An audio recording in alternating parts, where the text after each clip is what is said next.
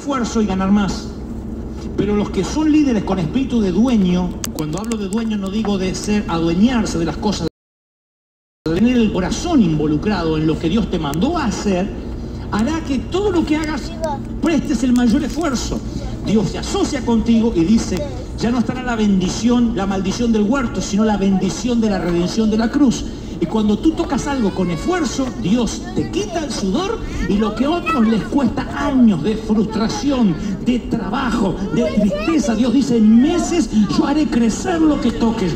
Prosperarás lo que, lo que tú toques con la mano. Donde pises será bendición. Donde empujes, yo empujaré contigo, dice Dios. He aquí, Josué, todo lo que emprendas será próspero. ¿Cuántos dicen amén? ¿Cuántos quieren esa bendición? Que todo lo que toque les vaya bien. The queen. Aunque los religiosos digan, es que el Satanás I'm on way es after my- ecuménico". my Aunque le pongan títulos. It's good. Cuando tú I tocas algo y es de bendición, es porque sabe que vive bajo la redención de la cruz. No te tendría que costar años. La Biblia dice que él, miren, miren, el- eh, uno de mis, am, de nuestros hijos, Brian, está estudiando cine.